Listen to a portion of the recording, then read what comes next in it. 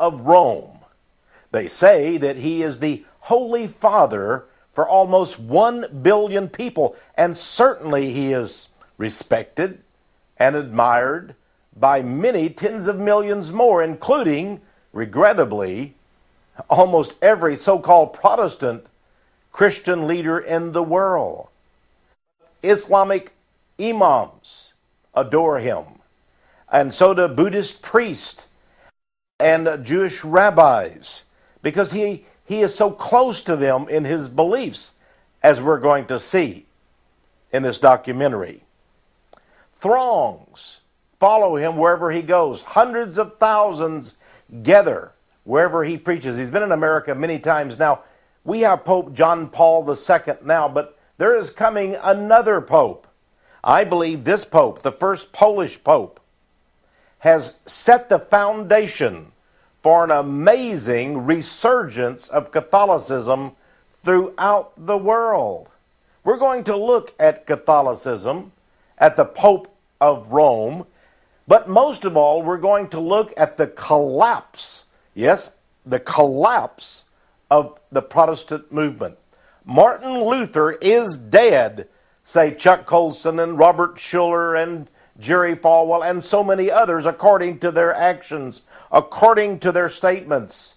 Many of them are now proclaiming that Pope John Paul II is the world's greatest spiritual leader, the moral voice for our time. Jack Van Impe, uh, one of these so called ex Protestants, even says the Pope is the last day's prophet for us. We're going to be looking at these men. We're going to be seeing that there is no such thing, other than a tiny minority of people, there is no such thing as the Protestant movement anymore. It is gone, it is vanished.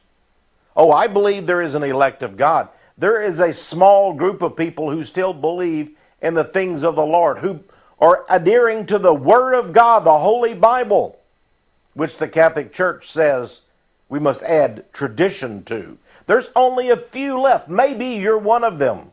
But we're going to see the great apostasy. In Second Thessalonians chapter 2, the Bible tells us there will be a great falling away in the end times. Is that today? I believe it is.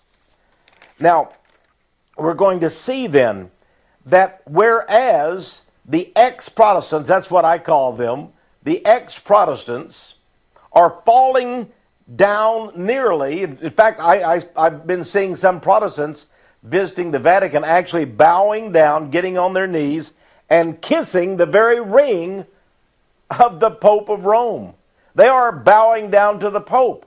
They are hand in hand with him. They're following him instead of the Lamb wherever he may go. The question is, my friends, where is the Pope taking these great tele evangelists, these great evangelical Christian leaders, from Baptist to Pentecostal to Assembly of God to Lutheran to Brethren, they're all moving into the realm of the Pope's dungeons. Where are these people really going? I say dungeons, and I'm talking about spiritual dungeons, the very pit or the abyss of hell. Let's look at some of these ex Protestants, I call them. The first is Paul Crouch. Paul and Jan Crouch founded uh, Trinity Broadcasting Network. Here is a picture of Paul Crouch visiting Rome in the Vatican. Here he is shaking hands with the Pope. Oh, what a great occasion! Paul Crouch said it was. He calls the Pope a great Christian leader. Here we have Benny Hinn holding up his hands, but listen, he's also been at the Vatican. He visited the Pope. And coming back to Trinity Broadcasting Network, he told Paul Crouch, this is Benny Hinn, he said that the day that he met Pope John Paul II was the, quote, greatest day of my life. You would think that the day he came to know Jesus, if he was truly a Christian, would be the greatest day of a faith healer or a televangelist life. But Benny Hinn said it was the day that he met Pope John Paul II. Here's some of the other ex Protestant leaders that are now hand in hand with this Pope. Robert Schuller. Robert Schuller says that even before he had the construction to begin on his Crystal Cathedral in Garden Grove, California, that he took the blueprints, the architect's plan. He flew to Rome and he had a personal audience with the Pope and had the Pope to bless them. On the seventh floor, yes, the seventh floor of the Crystal Cathedral, there is now a picture of Robert Schuller with the Pope, with the Pope blessing these plans in what I can only call as some kind of occult dark ritual. At the same time, Robert Schuller has literally erected a statue of Bishop Fulton J. Sheen, one of the best known Catholic leaders in North America. He's gone on now to be wherever he's going to be. He's died. But Bishop Fulton J. Sheen was a 33rd degree Mason, and he has a statue built to him, an idol, at the Crystal Cathedral. There's Chuck Colson. His wife is a Catholic. Chuck Colson has written a book called The Body, in which Colson says we all need to come together, just as Robert Schuller actually turned to the uh, Los Angeles uh, Catholic cardinal who was visiting one of his worship services and said, Your Eminence, we need to go to the Holy Father, we Protestants, and ask him, What can we do to come back home? Chuck Colson says, As a body, we all need to come together. And, you know, Martin Luther, that was for another time. Now we need to come together under the eminence and the prominence and the leadership of this one man, the Pope. Pat Robertson, here he is of the 700 Club and of Christian Broadcasting Network. Pat Robertson, also a high level Freemason. Did you know that he got his start when he left law school? He could not finish his law degree, he couldn't pass it. and no problem. J. Peter Grace, head of the North American Division of the Catholic secret order known as the Knights of Malta, set Pat Robertson up down in Brazil in South America. Yes, he worked hand in glove with J. Peter Grace. Even today, the 700 Club works with AmeriCares and other groups that are affiliated with the Knights of Malta, the secret order of the Vatican. James Dobson, a focus on the family, has had many Catholics as guests on his national radio program, his popular radio program. James Dobson was given an honorary doctorate, and he said he was so proud to receive it from a Catholic university in Steubenville, Ohio. Pro Catholic. Again and again, we see all of these former Protestants, Jack Van Impe, Billy Graham, and others, gravitating, bowing down to the Catholic Church and to its Pope. And I'm telling you, even though this pope is frail and aging, the next pope will be will be younger and more vigorous, and they will bow down to him too. And he could well be the Antichrist. Here's some pictures of Billy Graham. I don't want to show you because these are shocking indeed. These are from the book Smoke Screens by my good friend Jack Chick. Here's a picture of Billy Graham right before one of his crusades, visiting with the Oakland, California bishop, a Jesuit priest. Notice this news item. It says the Pope is almost an evangelist. Who do you think said that? Billy Graham did. In an exclusive interview, Billy Graham hailed Pope John Paul II's pilgrimage to Poland as a triumph for Christianity. Wow. The Pope is almost an evangelist. So we see all of these incredible events. Now, we're going to look at Billy Graham here. Some people still, I remember speaking up in Winnipeg, uh, Canada at a conference, and a man got so angry at me when I talked about Billy Graham cooperating with the Catholic Church. He literally began to scream and holler at me and call me right with a big group of people around. He said, Texe Marrs, you're a liar. The Pope is totally different from Billy Graham. Billy Graham would never, never, never have anything to do with Roman Catholicism. Billy Graham is a great man of God. He would expose the great sins of the Catholic Church through the centuries. Quit lying about Billy Graham. Well, friends, we're going to see who's lying about Billy Graham. I've already shown you these pictures. I've already shown you the news clipping showing that Billy Graham says the Pope is, is, is how great he is. Now we're going to see what he said with Larry King and Mr. Frost. Here is Billy Graham himself talking about what he thinks about Catholicism and how close he is with the Catholic Church. You're comfortable with the Vatican? Oh, I'm very comfortable with the Vatican. I've been to see the Pope several times, and in fact, the night that I mean, the day that he was inaugurated or made Pope, I was preaching in his cathedral in Krakow. I was his guest. You were preaching in his church mm-hmm. the day he was made Pope. That is correct. In Krakow. now, you must have been shocked. Of course I was. There was shouting on the streets, you know, the next day, uh, Polish Pope, Polish Pope. And I knew it wasn't Wyszynski. I'd just been with him in Warsaw where I'd received an honorary doctorate. And uh, from the uh, uh school there. And uh, my next stop was in uh, Krakow as the guest of uh, Wojtyla. There were just two cardinals in Poland at that time. You like this Pope? I like him very much. He's very conservative. And today we have almost 100% Catholic support in this country. That was not true even 20 years ago.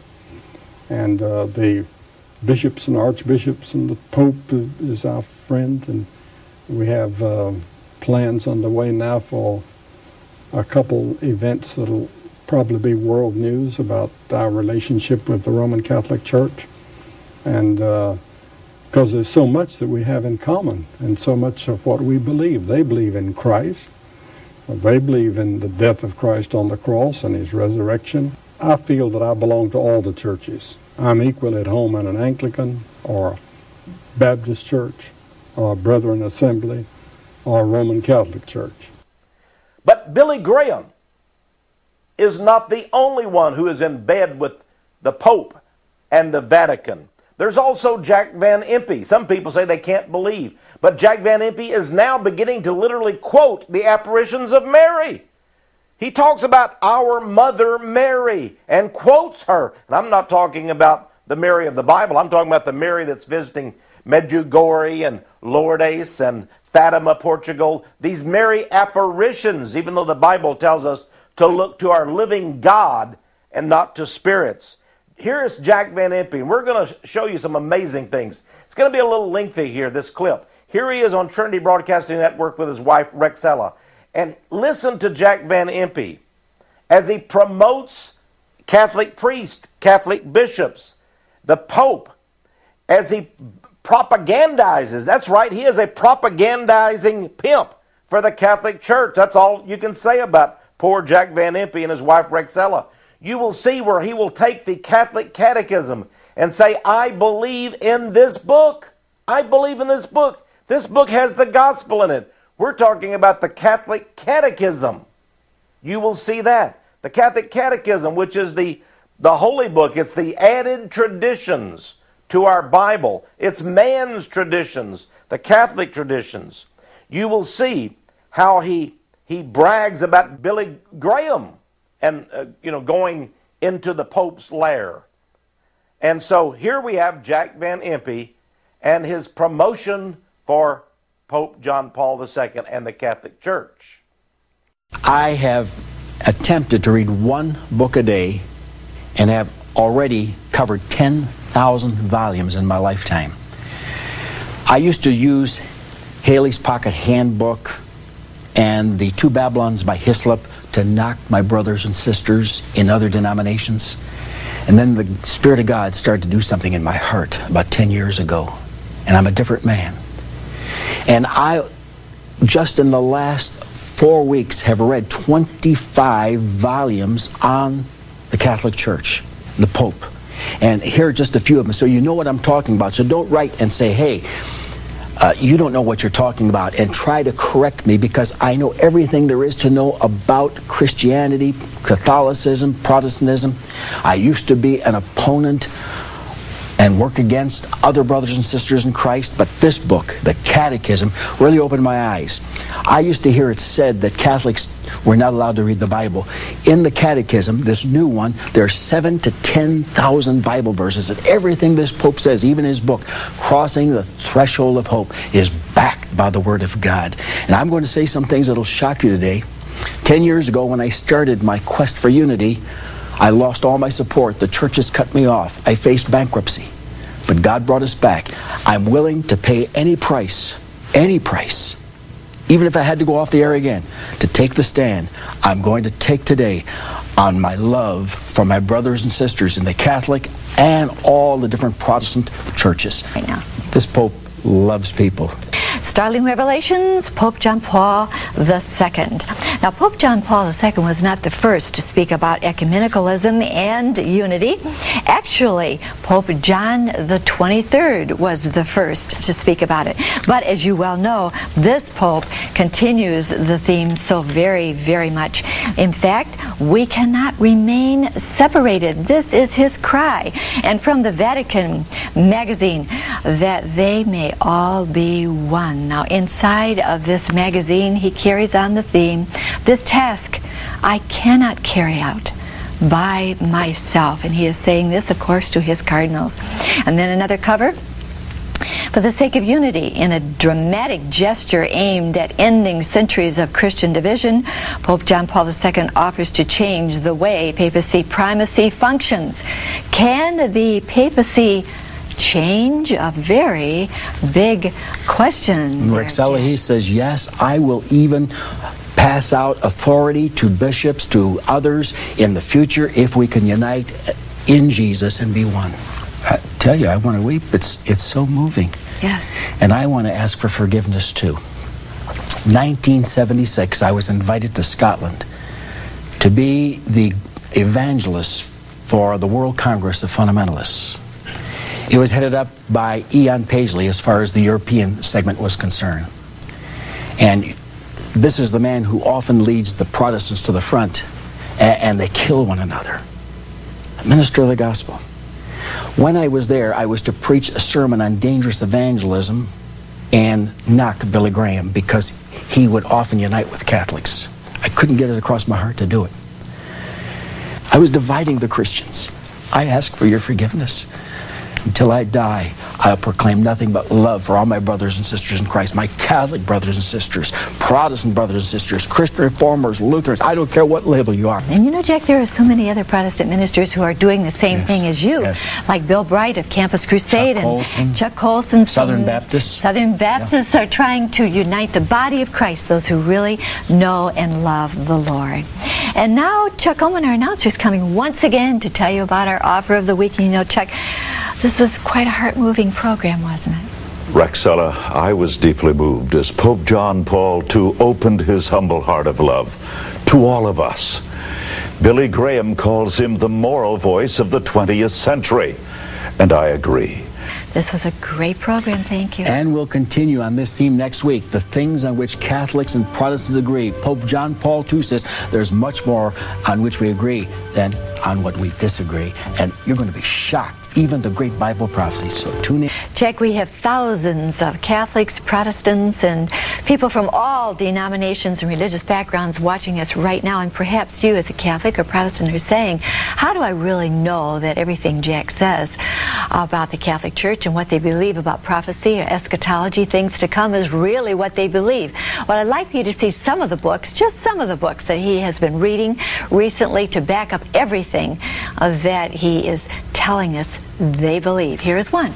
I read 25 Catholic volumes in the last 12 weeks, and as you'll see, this is entitled The Reign of Antichrist, The Thunder of Justice, The Great Sacrilege, The Call of the Ages, The Raptured, Peter, Lovest Thou Me, The Three Days Darkness, and Catholic Prophecy.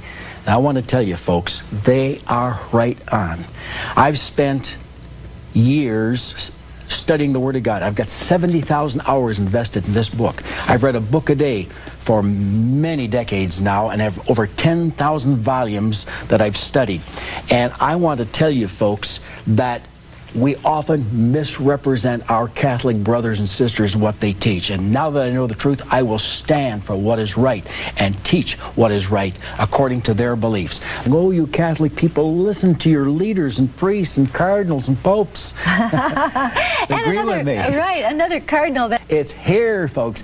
Thank God for these great Catholic leaders cardinals, popes who say it's near. Be ready. So actually, you know, Jack, they base all of their anticipation on the coming of the Lord on the Bible. Yes, we agree on all these things. It's, it's exciting to have read all these Catholic books. I mm-hmm. mean, I, I was stirred.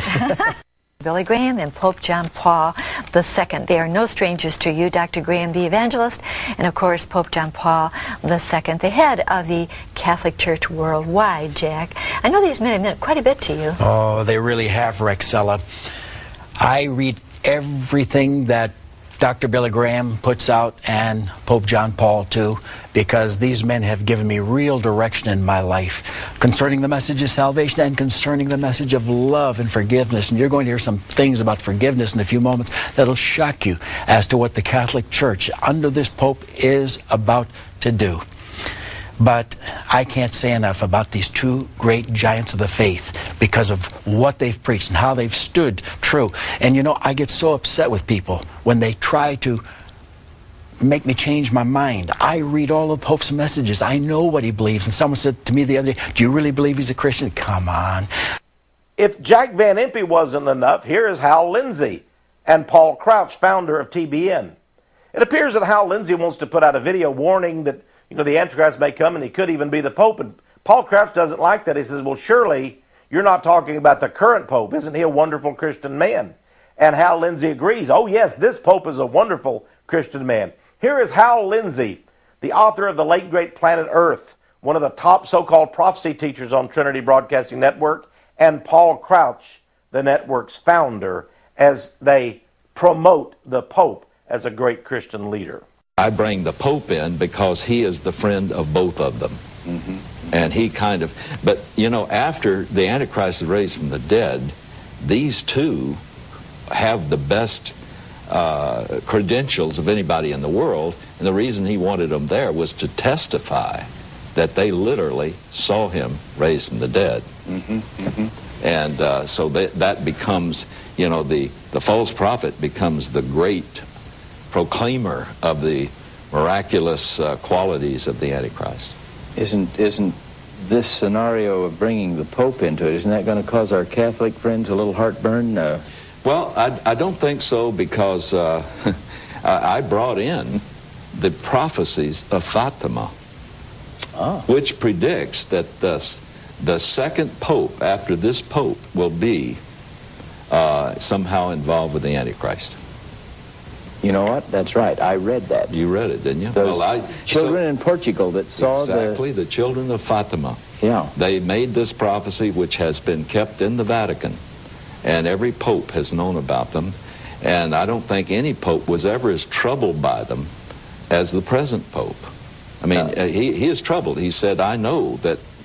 He said, "I greatly fear that a future pope will either be the Antichrist or he will be wrapped up with it. So I'm not saying something as a Protestant trying to hit at the Catholic Church. This is something the Catholic Church itself has already said. Has seen. Yeah, the, yeah. the present Pope has seen It. Because the present Pope, John Paul II, he's a good man. He, he's a man of faith. I, yeah. We covered him at Denver, Colorado a couple very, of years ago. It would be very difficult to say that he's not. Now, I know a lot of Protestants out there will get their dander up and so forth. But look, uh, folks, a person is a, a person is not a Christian because of a system he has to be a part of. A person is a believer in Jesus. If, if he comes to a personal faith in Jesus Christ, he is born again and he is truly a Christian. Well, how? Even though they may be wrapped up in some things that don't fit. Oh, you know there's probably things in the Catholic Church that Pope John Paul doesn't even agree probably with. Probably so. You know, I'm sure of it. Certainly Mal- uh, Malachi Martin has yeah. uh, brought this out, and by this blood, you know, it's a, listen, quite a book. I heard John Paul stand in Denver, Colorado, what, mm. two years or three years ago? Yeah. He came to that great youth conference? Yes. Now, the charismatic movement has gone, as we used to say in East Texas, whole hog into the Pope's lair. In 1977, in 1986, and in 1987, there were huge meetings of charismatics, Assembly of God, Pentecostals, Church of God in Christ, and others. They met in New Orleans at the Superdome. Thousands of them thronged in there. I'm going to show you just a little bit of what went on there at the stadium, uh, at the, uh, the New Orleans Superdome. And it all led up to a great speech by Catholic priest Tom Forrest, who led them all in rousing yells and said, We're all a team. We're all as one. Here is the New Orleans meeting of thousands of charismatics from around the world, many of them pastors, lay leaders, televangelists, as well as you will see Catholic priest Tom Forrest. He's in the Vatican, he's an American priest. He's been given control, you might say. He's been put in charge of the Catholic tongues movement, speaking in tongues. And thus, there he was being honored by all of these charismatics. Watch this.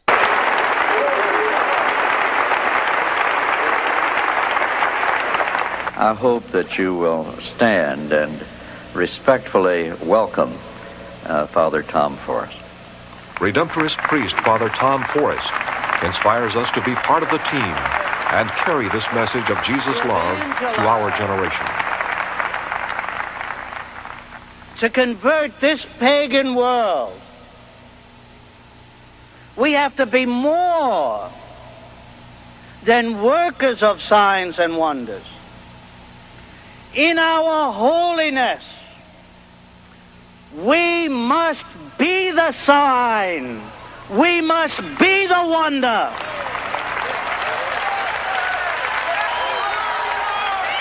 Now, I said we couldn't do it alone. That's what this meeting's all about. Are we a team? Yeah. Let's show them that we're a team. Again. Amen.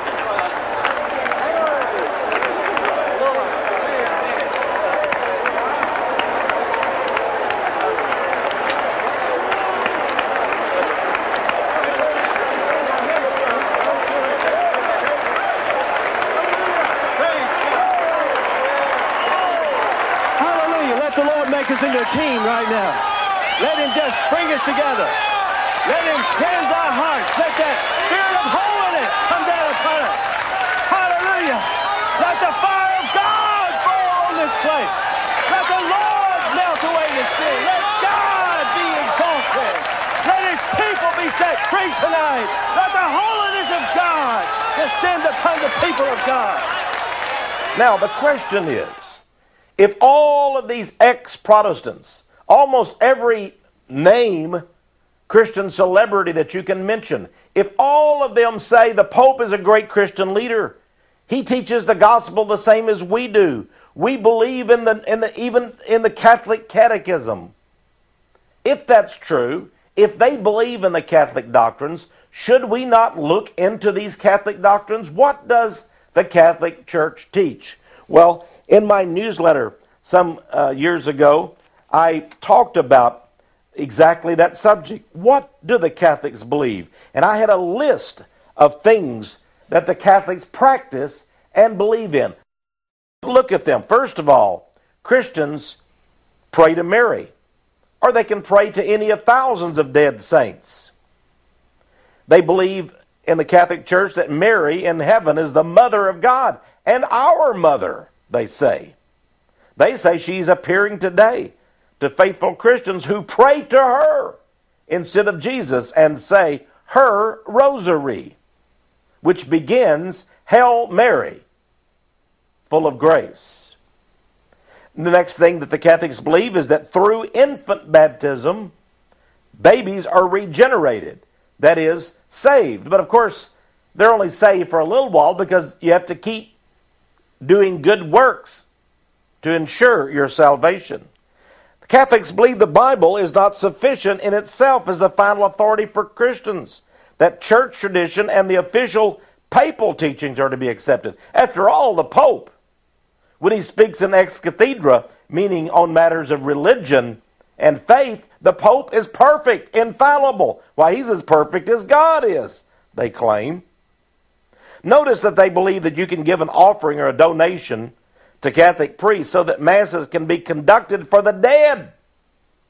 You can get your aunt or uncle or brother or sister or mother, father, out of the suffering fires of purgatory by having a mass for them. And it goes on and on with the strange teachings that salvation is not available through grace alone. Then there are those Christians, so called Catholics, who can gain special favor with God by scourging, ravaging, and torturing their bloodied bodies with metal tipped whips and by other painful self flagellation, self inflicted beatings. Then there are the statues, idols, and images of Mary, Joseph, and thousands of saints, dead saints, that are bowed down to, venerated, honored, and worshiped. Did you know that one of the Catholic versions of the Bible, one of the most popular versions, the Douay Rheims version, uh, version, for years, many of its editions took out the second commandment to the Ten Commandments. They just obliterated it. It was just missing. Why? Why would they take out the second commandment and pretend it didn't exist in the Bible? Because the second uh, commandment tells us do not worship graven images. In other words, idols, images. And they worship them. They decided that shouldn't be in the Bible. So they just cut it out. Now, so I can be fair, friends. I want to go to the source itself. You may say, oh, I can't believe Catholics believe in those things. I have here, my friends, and I've studied it thoroughly, the Catechism of the Catholic Church. This catechism is almost 800 pages. All of the bishops and the cardinals got together and received the blessing and the approval of the Pope himself. This is the book that Jack Van Impe says is as good as the gospel. I mean, this book has the gospel in it. And this book can be believed in. And people like Jack Van Impe and others are saying this is the book you must believe in, in addition to the Holy Bible. Well, let's just see. We're going to look at some areas in here. First area I begin is page 222 and 223. Listen to this. The Jewish faith, the Jewish faith is already a response to God's revelation in the Old Testament, uh, Old Covenant. The Jewish faith. If you're of the Jewish faith, you have already responded to God's revelations. You don't need then to believe in Jesus. You're okay as you are if you're a Jew. Then, also on page 223, it talks about the church, the Christian church's relationship with the Muslims. It says, quote, the plan of salvation also includes those who acknowledge the Creator in the first place, amongst whom are the Muslims.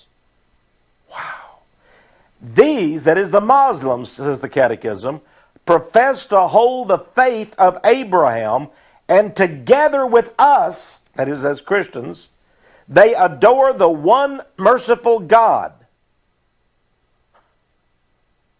the, the Muslims worship the same one God as do the Christians. They don't need Jesus. They've got Mohammed and Allah. Friends, let me tell you something. The Quran, which is the holy book of the Muslims, flat out says that Allah, their God, had no son. Friends, our Bible, the Christian Bible, says clearly if you don't believe in the Son of God, Jesus Christ, you do not have the Father. If you don't have the Father, you don't have the Son.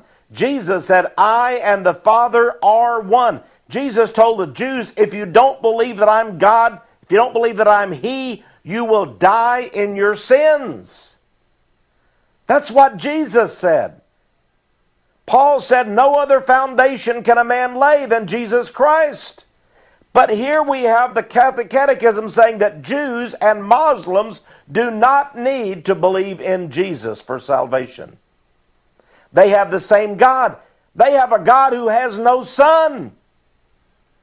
And the Jews, in their holy book, the Talmud, it actually says that Jesus Christ was a bastard, an illegitimate son. And that Mary, they claim, was a whore who had sex with a Roman centurion. And the Jews don't need Jesus? Can I ask you a question? Why did Jesus die on the cross? If the Jews don't need Jesus? If the Muslims don't need to know him? Did he die in vain? Well, according to this book, unbelievable. This is just one of the many areas we could talk about. Uh, and, and by the way, you say, oh, so it's okay then for the Muslims and the Jews. They're already saved, whether they know it or not, I assume. But page 224 goes even further. It says, Those who, through no fault of their own, do not know the gospel of Christ or his church, these too may achieve eternal salvation. Did you get that? Those who don't even know Jesus Christ, not part of the Christian church at all, these too may achieve eternal salvation. Wow, that's what I call a wide and broad road to destruction, friends. You see, if you don't know Jesus, if you don't even know what the Bible is, that's okay. You could still have the secret presence of God.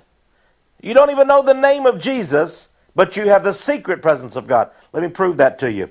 On page 227, it says the missionary task implies a respectful dialogue with those who do not yet accept the gospel.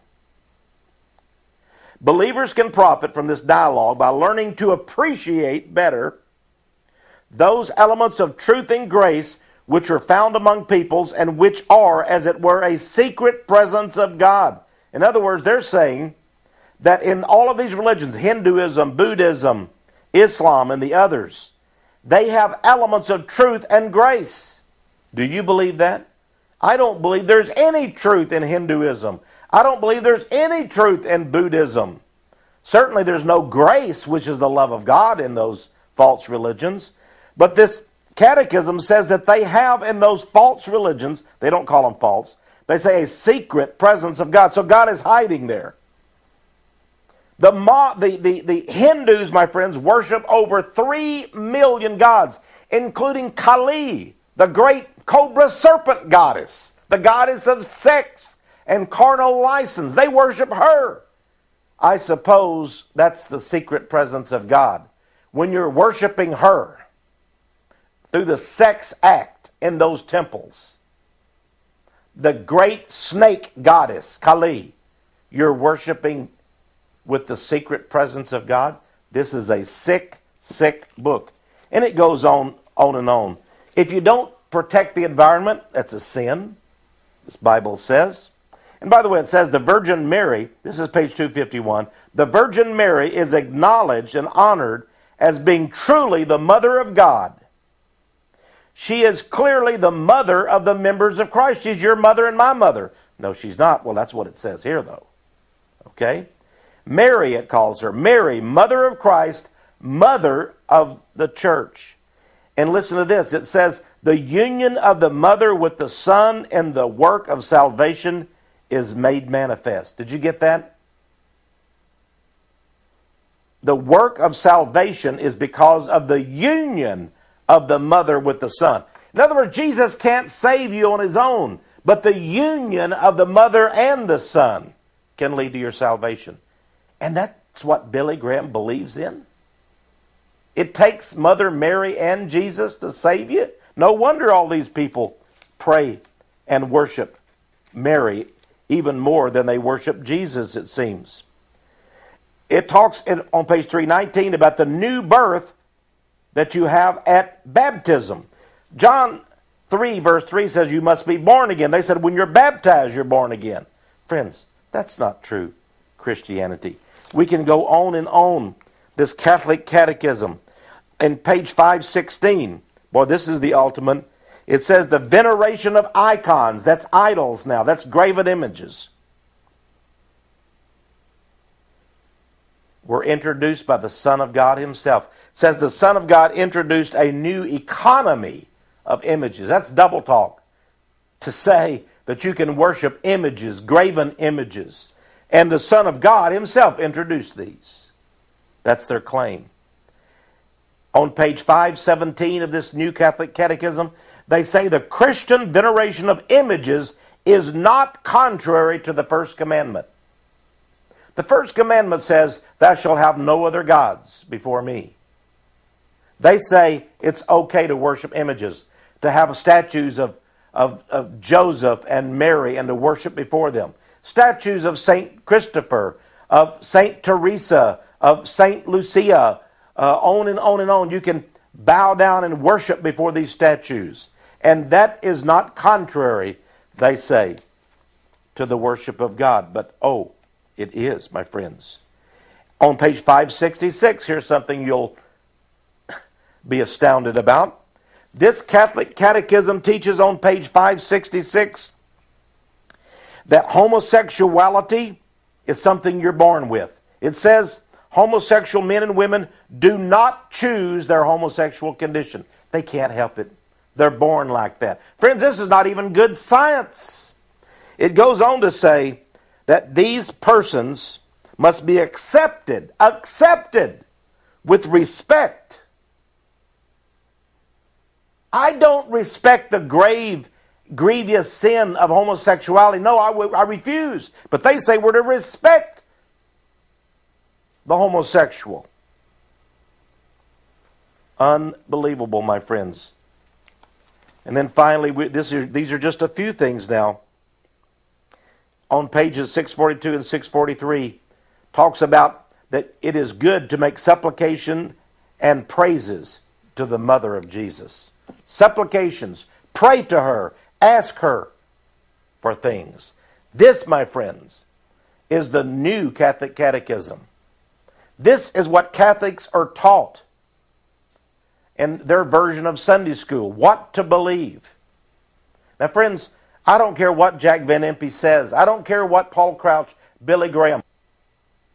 Here's a picture of Billy Graham receiving his honorary doctorate from Belmont College, a Catholic school.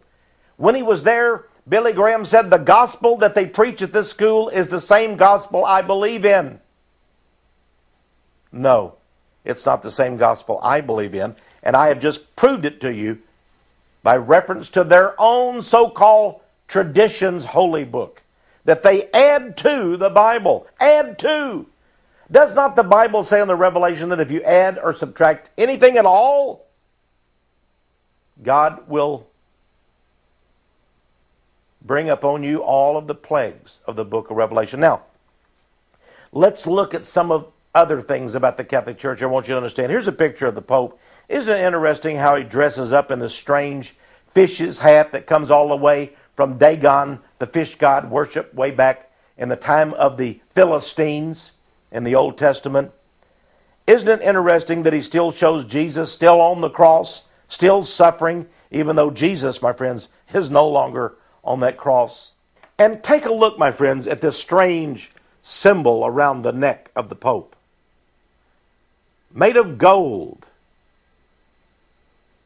is that not a dragon with fire coming out of its mouth, a golden dragon at the bottom? And is that not supposedly the Son of God coming out of the sun, the sun god? This is the worship of the sun god. This is the worship of the dragon. The book of Revelation calls Satan, that old serpent, the dragon. And the Pope has him around his very neck in this picture. One of the most shameful things about the Catholic Church, of course, has been the sexual fornication of their priest. Many of the priests and many of the nuns are lesbians and homosexuals.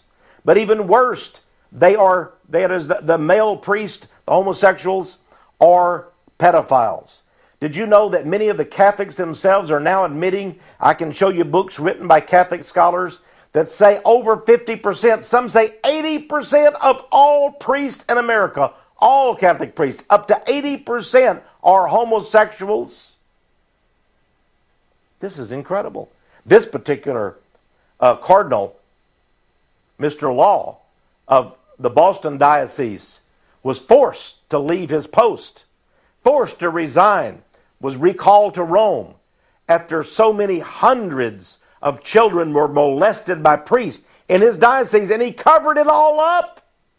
And they continue to cover it up to this day. Here's an interesting article from down in Mexico. It talks about the police. On a certain day, they bring statues with them to work.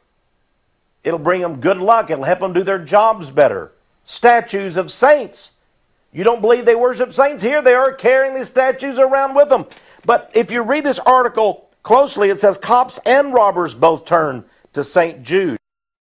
One of the policemen says, I have all sorts of friends who are criminals and they pray to St. Jude. The drug addicts say when they pray to him, they always have plenty of drugs. And the robbers say they rarely get caught. Isn't that amazing? The, the robbers, the crooks say that St. Jude helps them to be better criminals. Incredible. Here's a, a man named Dr. Peter Kreeft I'd like to introduce you to. He's well thought of in Catholic circles. He's a professor, high level professor at Boston University. That's, by the way, where Senator John Kerry uh, graduated from with his law degree. This is a Catholic Jesuit, the Order of the Jesuits, a secret order of the Catholic Church. That's what Boston University is. And Dr. Peter Kreeft, Dr. Peter Kreeft is one of the professors of religion there. Now, Dr. Kreeft said some things recently in a book called Ecumenical Jihad. Ecumenical Jihad. I want you to know about. Let me give you some quotes. First of all, he says that Martin Luther, the founder of the Protestant movement, is a heretic. So we see right away what Peter Kreeft believes in. Second, he says, and listen to this Confucius, Buddha, Muhammad are all in heaven. Muhammad is today on his knees in heaven worshiping Mary. Can you just picture that sight in your mind? Muhammad on his knees worshiping Mary in heaven? Confucius, Buddha, Muhammad, they're all in heaven. Of course, Martin Luther, I guess he's in hell. He's a heretic. But, but all of these, these false gods and prophets are in heaven, according to Peter Croft. And there they're worshiping Mary, like every good Catholic. Listen to what he says about Allah. Allah, writes Peter Croft, is not another God. We worship the same God. Why is Islam expanding so spectacularly, he asked. Because God blesses those who obey his laws. Friends, did you know that Jack Van Impe also said the same thing basically in a recent uh, uh TV program?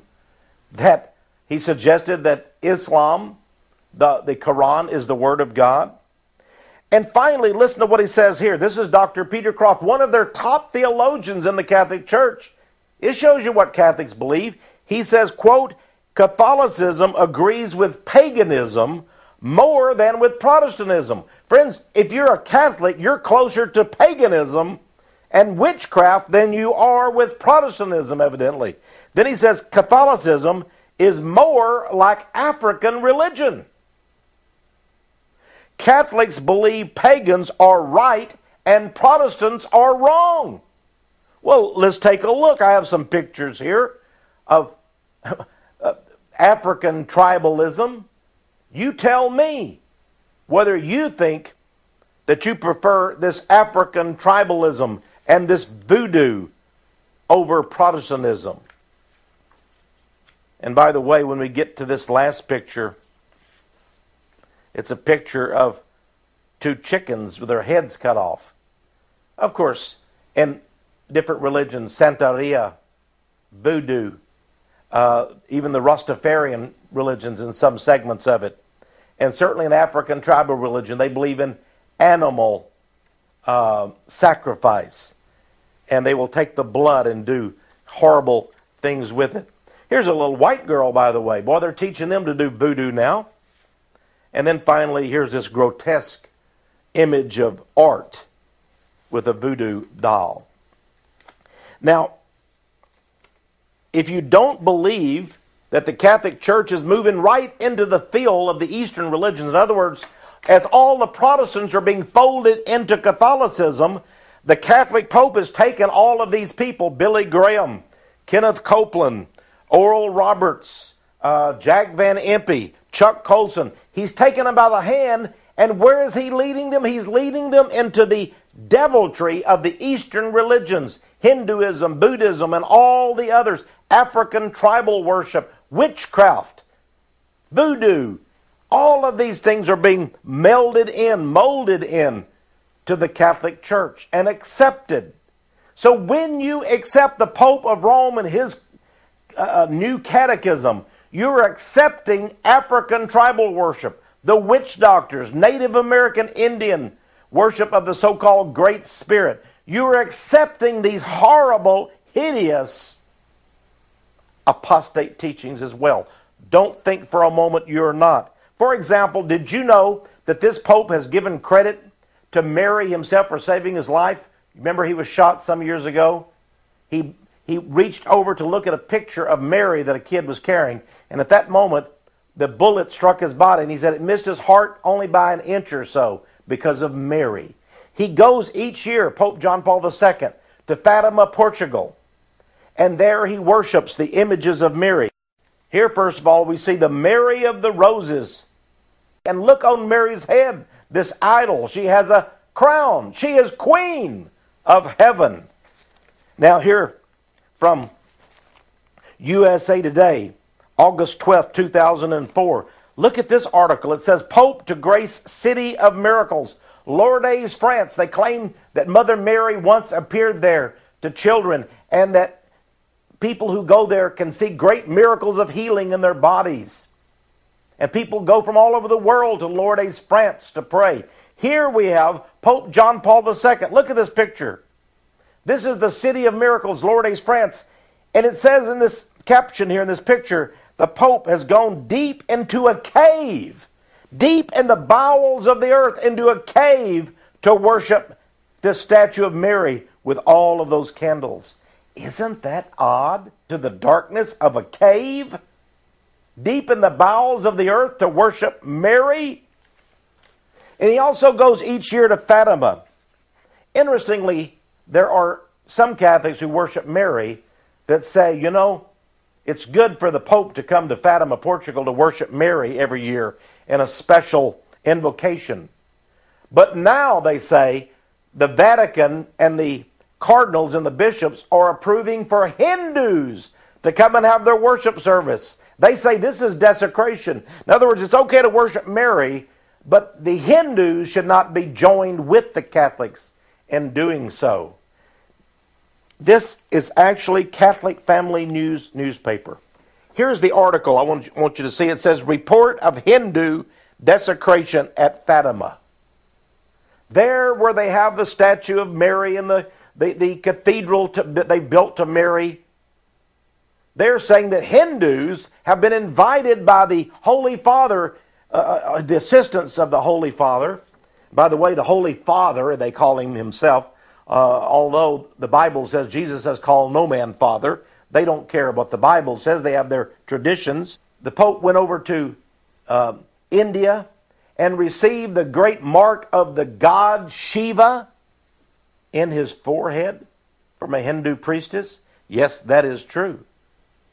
And now we have the, the, the papal uh, officials inviting these Hindu gurus and others to come to, to Fatima, Portugal, to, to do all of their rituals at the very cathedral that's been built to honor Mary. Look at some of these pictures. Here we have a picture, and the caption says a close up of the Hindu priest as he desecrates the most holy altar at Fatima. These words, by the way, this caption actually comes from Father Nicholas Gruner and his organization. They are opposed to the Hindus. They're okay for worshiping Mary, but opposed to the Hindu worship. Notice the little mark on this man's forehead in the so called third eye region and the statue of Mary with her crown behind him. In this next picture, we have the Hindu guru or priest and some of his so called Hindu pilgrims at the sacred el, el, uh, altar there in the Catholic Church at Fatima. Can you imagine the Catholics allowing the Hindus to worship all of their Hindu gods and goddesses? Now, in this picture, we have the Hindu guru or priest investing the rector, that means the head, the head priest of the Fatima shrine Monsignor Luciano Guerra with a Hindu prayer shawl. Now, this Hindu prayer shawl has verses from the Bhagavad Gita, the Hindu Bible, written all over it. And here is this priest going to put it on over his black garb. Here again is a bishop, a Catholic bishop, Seraphim de Sousa Ferreira e Silva, the bishop of Fatima. He willingly accepts the Hindu prayer shawl with all of the Hindu scriptures all over it. What a desecration indeed that is. Not too long ago, I received a magazine called Modern Manna in the mail. I looked at it very carefully, and it says that there's going to be a world Sabbath of religious reconciliation. I found that interesting. A world Sabbath of religious reconciliation? The world Sabbath. What a desecration of the Sabbath day. It says this will be held, and it was held back in January of 2000. It's the first interfaith holy day. Look at this symbol. There you have the great sun god of the Hindus.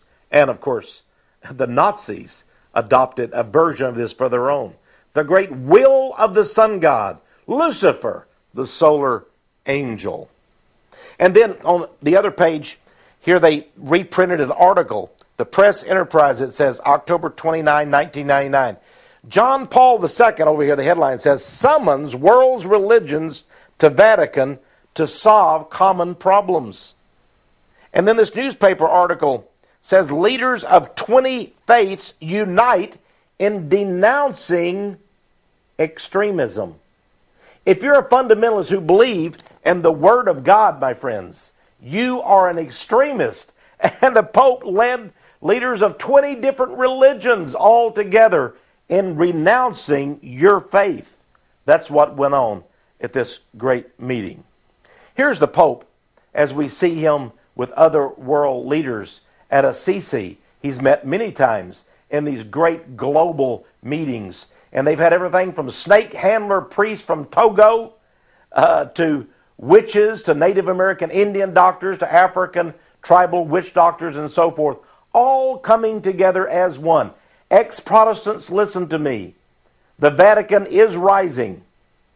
It's rising, all right, and it's bringing you with it and you have a rope around your neck, you're being hung with all the evil doctrines and teachings and practices of the Catholic Church because you have become one with the Pope and the Vatican. One of the things that I think is most dreadful is the Vatican's worship of Mary. But not the Mary of the Bible. That would be okay for us to at least acknowledge her, to love that Mary, as I'm sure Jesus loved her. I hope to see Mary someday in heaven. I really do. But I'm not going to bow down and worship her. She has become an idol. She has become a venerated icon. And now you have statues. They claim they cry, they sweat blood. Uh, some of them have known to, been known to talk to people, and they're worshiped by millions. Not too long ago, some friends of the ministry sent me this video messages from heaven. It shows remarkable things about the universal worship of Mary. Did you know that many Protestants are now beginning to worship Mary? They're beginning to travel to all of these sites Lourdes, Fatima, Medjugorje, or down in Mexico at Guadalupe. And they're all acknowledging Mary as the mother of God and the mother of Christianity. And incredible miracles, they say, are being given by Mary. And Mary has been telling people to pray to her, and she will intercede.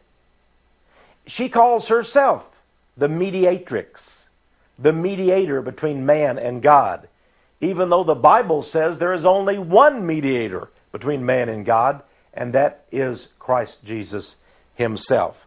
Look at some of these incredible images. See what's going on with the Catholic and the Protestant worship of Mary. And you know this is wrong. For a long time I have suffered for you.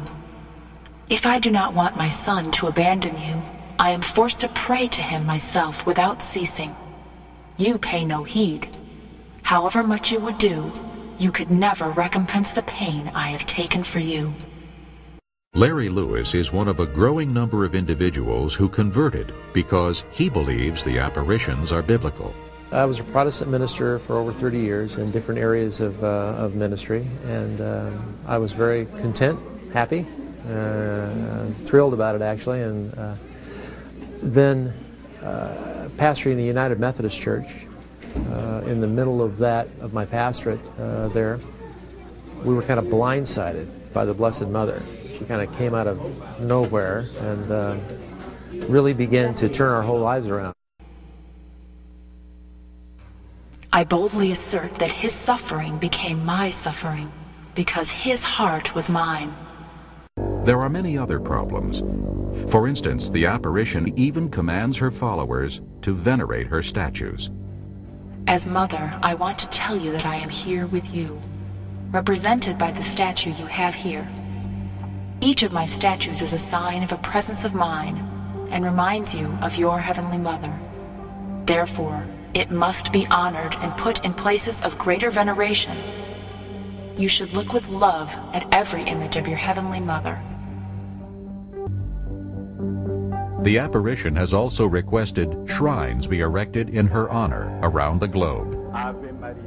Furthermore, on October 8, 2000, Pope John Paul with 1,500 bishops, the largest group to assemble since Vatican II, entrusted humanity and the third millennium to Our Lady of Fatima, an apparition who promises her triumph and global peace.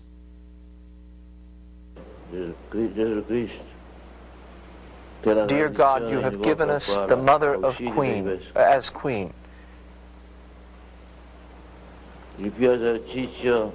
Through her intercession,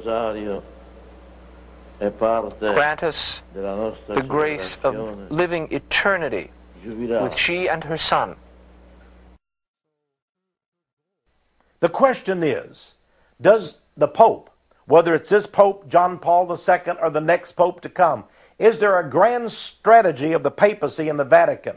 I believe there is a grand strategy. Not too long ago, in the Catholic World Report, there was this article The Grand Strategy of John Paul II. It was an interview of Edward Luttwak, the advisor to the U.S. State Department. And Mr. Luttwak just happens to be Jewish. But he says, and by the way, this is not being critical, he seemed to be very much for it. He says observers are attempting to interpret John Paul's mind, but he said if you look closely, you can see a carefully thought out, grand strategy to bring about a Catholic renaissance, a rising of the Catholic Church. It is a grand strategy of Pope John Paul II. Even the world's leaders have been coming to Pope John Paul II for answers. Here's an interesting issue of Time magazine.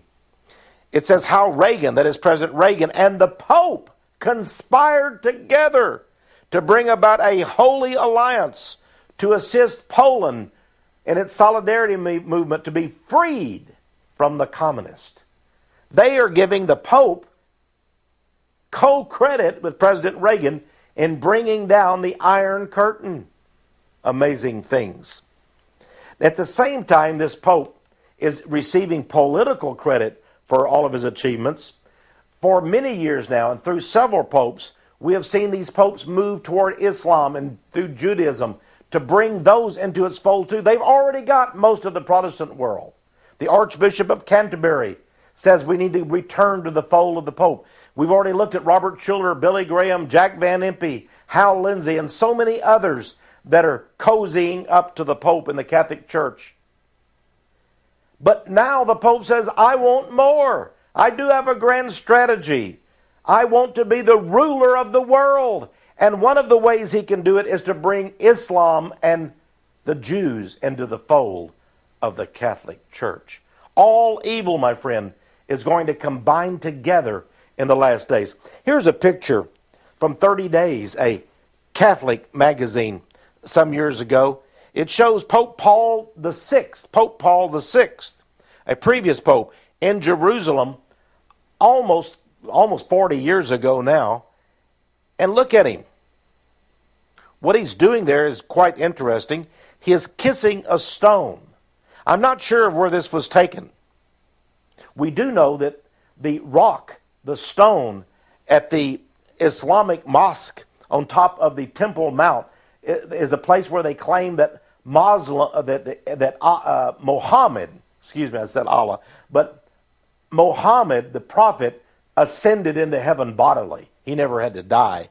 The Muslims claim, and they have a rock there, and people come in and kiss that rock. Is that what the Pope is doing?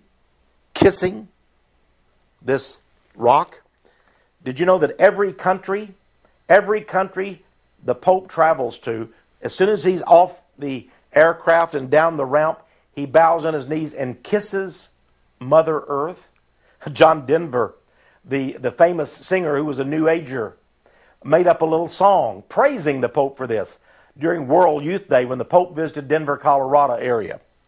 John Denver in the song praised the Pope, and the lyrics went something like, Isn't it wonderful to see the Holy Father bow down and kiss the breast and the nipples of the breast of our Mother Mary? The breast and the nipples of the breast. Is that who or what the Pope is kissing when he kisses the ground? Our mother? Her breast? Amazing. Here's some newspaper clippings for you. Here is Pope John Paul II meeting with the, the Imam, who is the leader, the Muslim leader of the nation of Iran. Here is an interesting article from the Philadelphia Metro newspaper. It says, The Pope enters a mosque where he seeks religious healing. He wants to heal the two religions, the great monotheistic religions of Islam and Christianity and bring them together. Here we have a picture from News from Israel magazine. They're big promoters of Israel. They're Judaizers within the uh, church.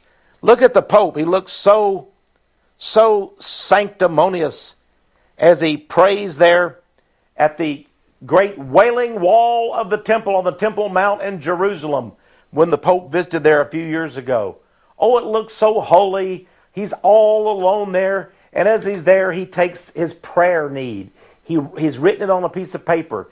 And as the Jews do, he puts it in the crack in the wall. You know, every day they have a janitor come take all those out, take them out and burn them. But uh, the Pope, as did Hillary Clinton, as did George W. Bush, as did President Bill Clinton, they all visited there. And to impress the Jews and the world, they took their little prayer request and stuck it in a crack in the wailing wall of the Jews. They say this is a wall still left from Herod's temple, even though Jesus said there will not be one rock left on another. They, by tradition, the Jews say, oh, we have a wall that's still left. Here is the Pope. Now, what they don't show you, and what this next picture does, is that he did it only for publicity. It was a photo opportunity. Look at this picture. There's the Pope now bowing down. That's that same wall, the same day. And look at all the photographers, the paparazzi taking pictures of the Pope. He does everything for propaganda effect. It's all a big PR gambit for the Pope of Rome, isn't it? You know, the Jews believe someday a Messiah will come. They've rejected Jesus. They call him a bastard. They call his mother a whore in their Jewish Talmud, their book of laws. But did you know that Jewish mystics are still expecting? Many Jewish rabbis believe their Messiah is going to come. This man, Rabbi Mendel Schneerson of the Bronx, New York, his followers believe he's going to come back from the dead and be the Messiah. I assure you, he will not be back. But Look at the headline here. This is a newspaper from, let's see the year, it's 1991.